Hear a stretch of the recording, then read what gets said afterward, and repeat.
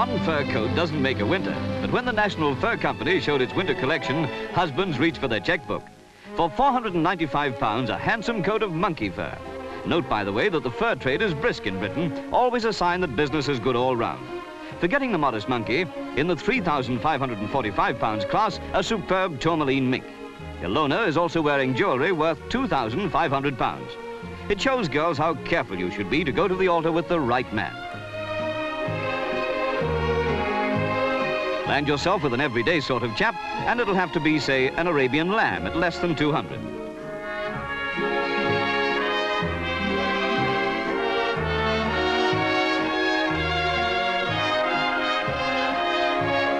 Quick, let's get back to class. A blue iris sapphire mink hitting the bank balance a left hook of 3,750 pounds.